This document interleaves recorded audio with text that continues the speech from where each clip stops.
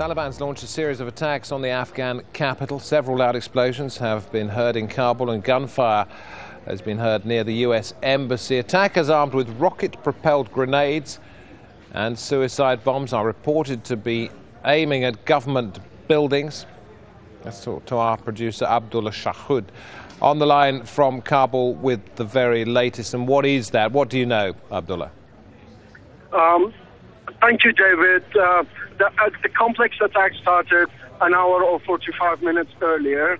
Um, uh, the report said that a known number of uh, Taliban suicide uh, uh, bombers have climbed a tall building which oversights ISAF headquarters and Afghan in, intelligence installments. And now we are hearing gunfire, and in the, in the last 45 minutes or so, uh, we have heard uh, several explosions and mortars landing near the U.S. Embassy and the government uh, uh, buildings.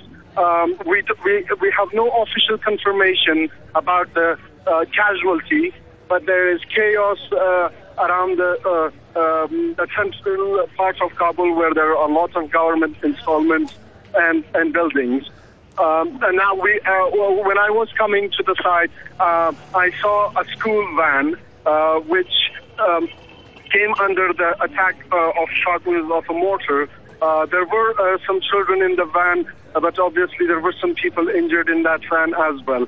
another mortar landed near an Afghan local TV station, which had no injuries at all. the area has been cordoned off by Afghan forces. the journalists are not yet allowed to uh, go near the site because there's still um, gunfires and bullets coming in. So, so is it possible, um, Abdullah, for you to, to give us an indication of, in terms of attacks in the capital, Kabul, what sort of size this seems to be and um, whether it is still continuing?